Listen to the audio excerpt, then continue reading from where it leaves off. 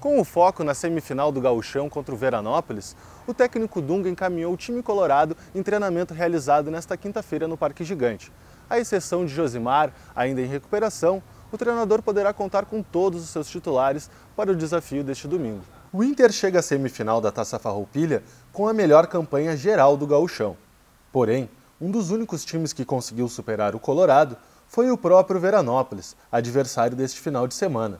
Por isso, todo o cuidado é pouco contra a perigosa equipe da Serra. Leandro Damião e Rodrigo Moledo, que retornaram da seleção brasileira, fizeram um trabalho físico ao redor do gramado e devem participar normalmente da decisão.